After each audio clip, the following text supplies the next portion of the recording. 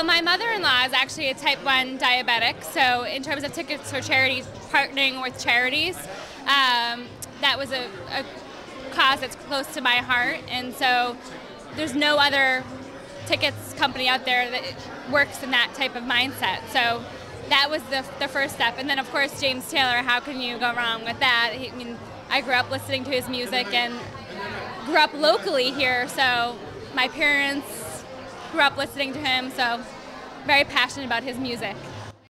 Well, I think it's a fabulous thing because I'm somebody that goes to a lot of concerts and I have reached the point where I tend to spend more money to get better seats, which means I deal a lot with scalpers. This is so much better way to do it. I love the idea of supporting supporting the, the nonprofits of the world. I'm involved in some of them myself, and I love the music, and, and it, you know it's just sort of a, such a win-win for everybody. But I love James Taylor. It was a great concert today, great for charity. Instead of hiring a scalper and having him make the profit on it, it goes to a charity that you can decide where some of the money goes to. And Tickets for Charity does the rest of it. And, and I think it's a win-win situation for everybody.